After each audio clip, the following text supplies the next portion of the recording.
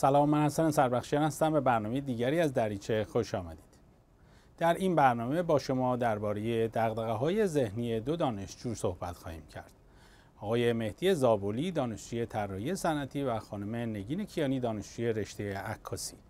با ما همراه باشید.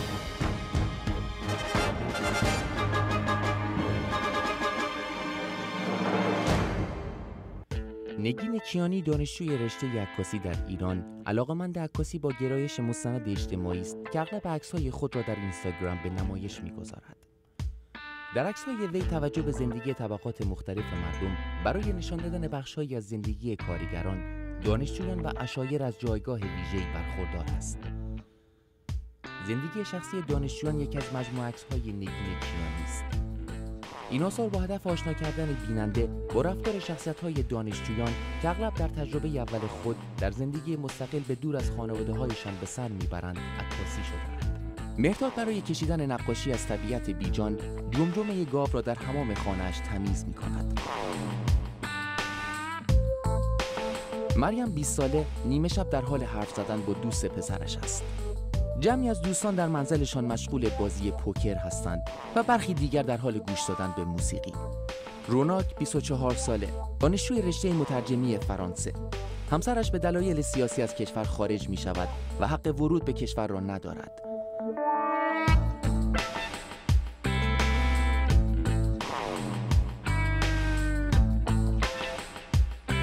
در مجموعه کارگران ایرانی نگین کیانی نگاهی به تیپ‌های مختلف و زندگی آنها عنوان یک طبقه اجتماعی دارد تا نشان دهد زندگی و کارشان با هم در آمیختند.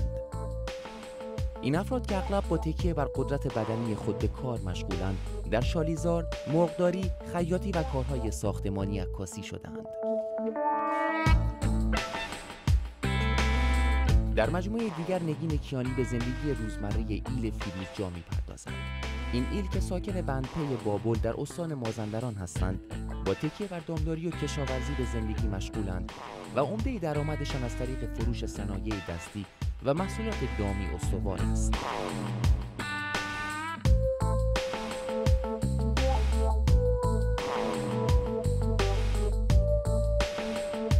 در آثار دیگر نگین کیانی اغلب زندگی افراد معمولی ایرانی که در محل کار و زندگی خود به سر می‌برند دیده می شود و بیننده با شغل فرد نیز در های محیطی او آشنا می شود.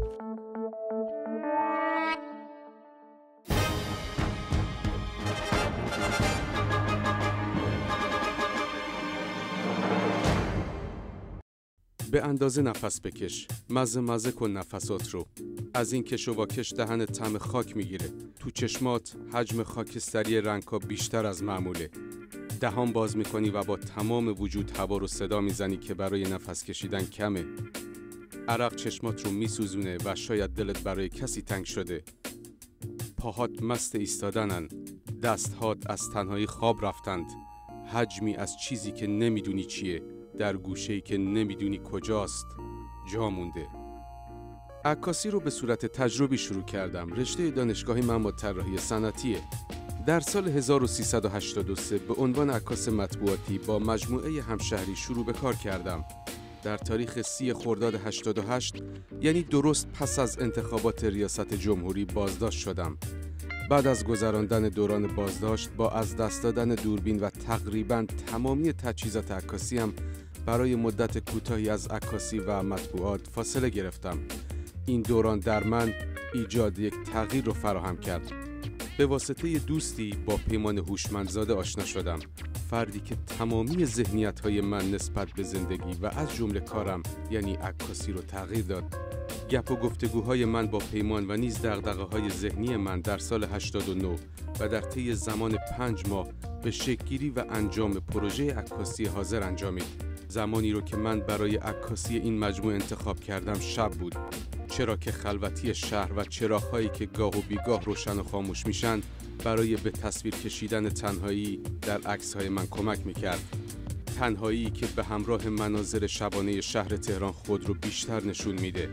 بخش بیشتری از این مجموعه رو من به کمک یکی از دوستانم که راننده آژانس بود و شبها کار می‌کرد انجام دادم. راننده آژانسی که حاضر می‌شد در ازای دریافت مبلغی که معادل درآمد او از آژانس برای رانندگی در شب بود شب رو درون کیسه نایلونی و در برابر دوربین عکاسی من در گوشه گوشه شهر تهران سفری کنه. مجموعه عکسی که از میان صدها فریم عکس انتخاب شد. شاید بتونم بگم علت اصلی انتخاب این سوژه از نظر من نگاه مصرفی به انسان و همچنین فضای محدود برای انسانها در جامعه ایرانه آدمایی که همچون زباله های شهری در گوشه گوشه شهر رها شدن و منتظر از راه رسیدن ماشین حمل زباله های شهری هن.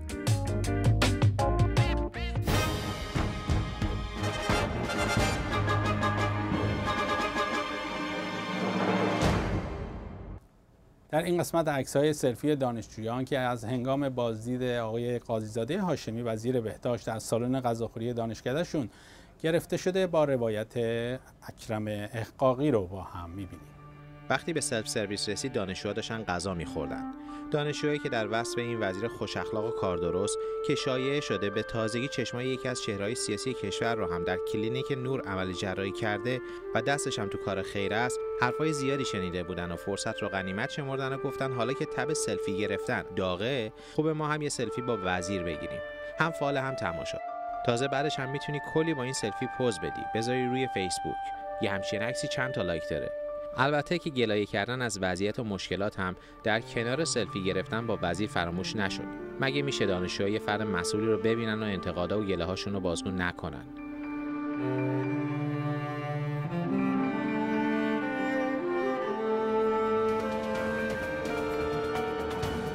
عکس های خود را با ایمیل دریچت برای ما ارسال کنید و از طریق فیسبوک و اینستاگرام برنامه با ما در تماس باشید.